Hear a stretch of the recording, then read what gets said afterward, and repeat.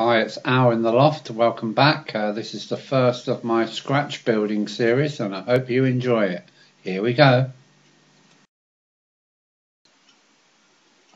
Here we can see the strengthened baseboard and two pieces of flexi track with a very gentle radius course uh, curve because I want um, um, locomotives to be able to thunder through this station without slowing down.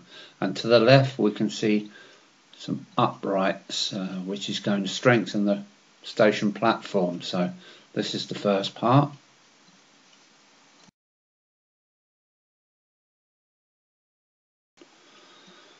I'm just using uh, corrugated cardboard at the moment just to get the general shape of the station going and at the ends of the platforms you can see the formers uh, uh, for the uh, lead up ramps to the to the platform. The lower edges of the um, platform structure have now been co uh, covered with super quick brown brick paper um, I find it's easier to put it on now rather than with the uh, station top which actually overhangs the uh, lower part of the station. The station platform tops are applied here using a grey cardboard, 2 mil thick. I think it's called backing card. Nothing special.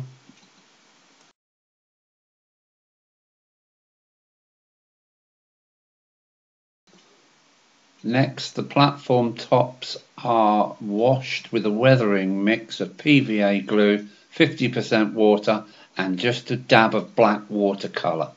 And this makes a really nice finish.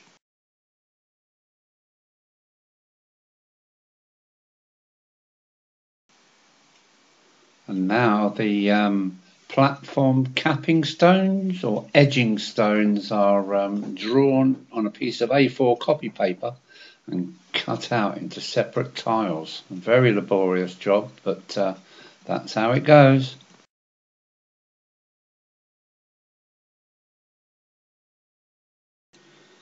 At the time, I done a quick calculation, and there is over 240 separate stones to be placed around the platform edge.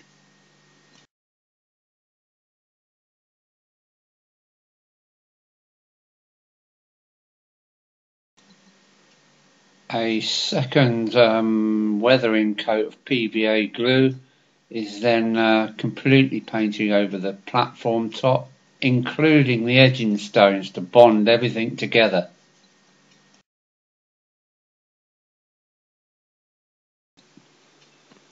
I have um, ballasted the length of the station now why it's easy to uh, get to and um, brick pillars made of balsa wood covered in um, paper are put in place.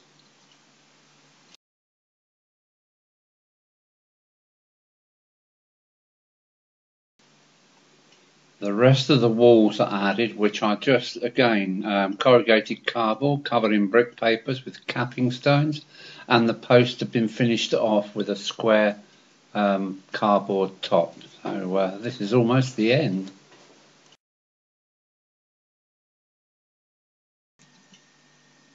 Here we can see this section now planted in the middle of um, the layout itself and not on the kitchen table. This is the view looking up line. Um, you can see it's not a very tight curve and uh, I can't wait to try a train through the station.